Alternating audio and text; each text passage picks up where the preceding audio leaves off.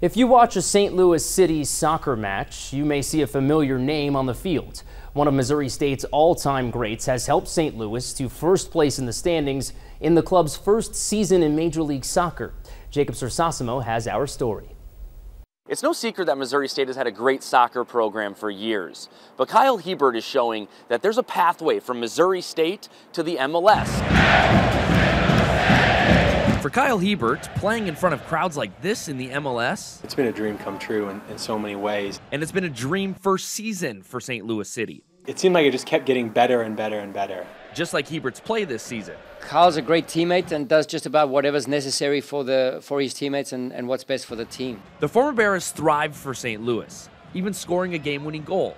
But he specializes on defense. He's got the confidence and the ability to move his feet, take up the run, get his body in between, block the pass, and move on from there, and then get the ball to the next guy. Skills he's perfected while at Missouri State. Year after year, one of the best defenders, best players we had in the conference. But the three time Valley Defender of the Year had to earn his spot in the MLS. So I signed with the second team in 2022, so it was kind of a year trial and then a year season, you know it was a step up from college and it helped make this transition a lot easier. Hiebert is the 11th Missouri State alum to play in the MLS, proving there's a path from Springfield to the pros.